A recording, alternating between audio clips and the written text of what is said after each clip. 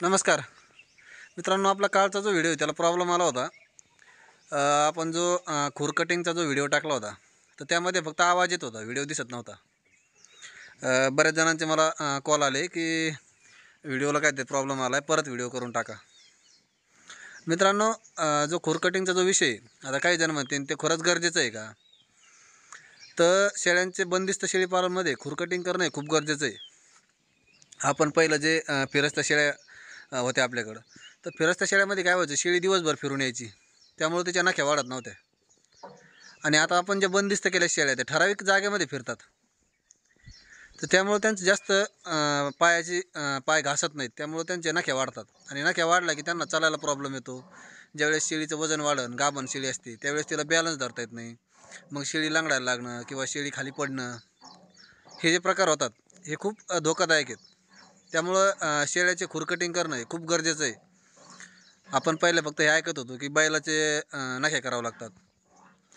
त्याच्या व्यतिरिक्त काय आपण काही म्हणजे कधी ऐकलं नाही की शेळ्यांच्या कधी नखे करावं लागतात. परंतु बंदिस्त ज्यावेळेस आपण करतो त्यावेळेस हे शंभर टक्के सगळ्यांनी काळजी घेतली पाहिजे. शेळ्यांच्या नख्या करणं हे खूप गरजेचं आहे. आणि त्यासाठी मग आता काही जणांना नख्या नख्या करता येत नाही. करायच्या कशा हो? नेमकं ते कु कुठल्या कटरच्या साह्याने करायच्या किंवा मग त्यासाठी कुठून बाहेरून माणूस बोलावा लागतो का? काही ठिकाणी भेटतात पण. परंतु त्यांचे चार्ज वगैरे मग ते आपल्या सर्वसामान्य शेतकऱ्याला नाही परवडत. परवडत नाही म्हणजे कुठं पण पैसे घालण्यात काही उ- उपयोग नाही आहे त्यामुळं आपण त्या जे छोट्या छोट्या गोष्टी आहेत हे शिकणं खूप गरजेचं आहे. आता त्या त्यासाठी आपण मी स्वतः हे कटर यूज करतो आहे हे बघा आता हे एकदम साधं आहे. आपलं जे झाडाचं फांद्या कट करायचं कटर आहे हे फक्त दोनशे पन्नास रुपयाचं आहे. याच्या आधी एक आप आपण जे आणलं होतं याच्या आधी थोडंसं हेवीमध्ये आणलं होतं म्हणजे टाटाचं ते साडेचारशे रुपयाचं होतं. परंतु एवढं काय आणायची गरज नाही. त्याने उलट व्यवस्थित कटिंग झाली नाही. कारण हे जे पान आहेत बघा हे शंभर टक्के घेताना असे बघून घ्या.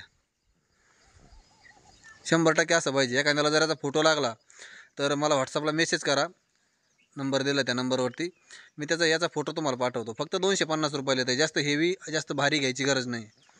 आणि एकदम व्यवस्थित कटिंग होते. आणि आता याची लाईव्ह दाखवतो तुम्हाला मी थोड्या वेळात कटिंग करून. म्हणजे असं काही अवघड नाही आहे सुरुवातीला फक्त जास्त डीपमध्ये नाही करायचं.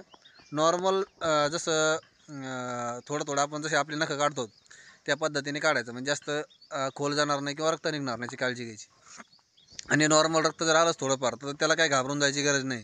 तिथं आपली जी लेंडे लेंड्या असतात शेणाचे थोडेसे घोसून द्यायची ते होऊन जाते क्लिअर एवढं काय त्याला होत नाही. फक्त जास्त डीपमध्ये नको जायला. तर मित्रांनो मी तुम्हाला दाखवतो कशा पद्धतीने कटिंग करायचे ते.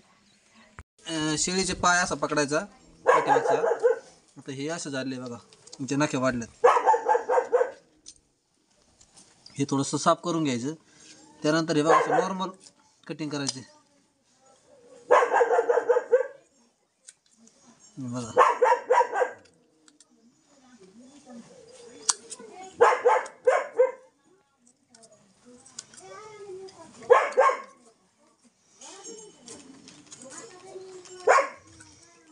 अशा प्रकारे नॉर्मल थोडंसं जोपर्यंत आपल्याला माहीत होत नाही जास्त डीपमध्ये जायला नको.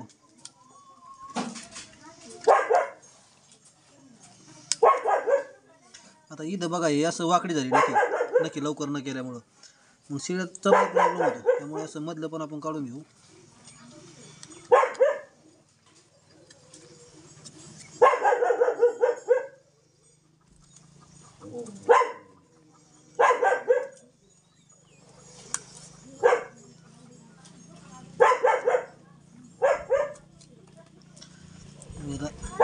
पूर्ण पाय आता त्याचा प्लेन झाला बघा. बघा. त्याचप्रमाणे असं धरायचं दुसरी पण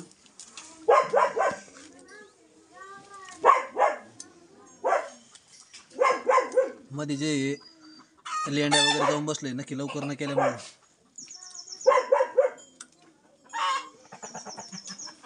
एकदम सोपं आहे. फक्त जोपर्यंत आपला हात सराव होत नाही तोपर्यंत जास्त डीपमध्ये नाही काढायचे.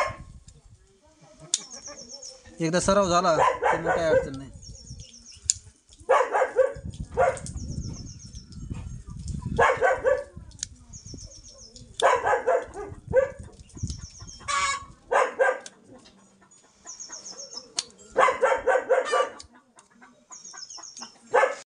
असं बाजार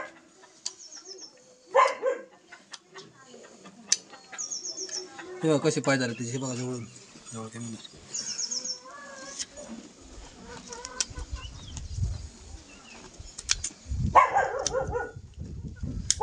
असे एकदम व्यवस्थित करून घ्यायचे ही. जी टाच असते ही टाच पण सारखी करायची.